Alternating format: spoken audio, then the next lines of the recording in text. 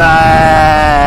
Tikai, tikai nav ārkās, bet šitai te viņš šausmīgi. Ir jau kaut kāda vasara, kāpēc viņi ir ziemeļs vēl virsmu multiplayer. Te dizaineri vienkārši kurījuši diezgan normāli, lai to visu dabūtu gatavu. Nē, viss ir slikti, bet viss ir droši. Tā kā Levita kungs, ja jūs dzirdat, tad viss ir droši.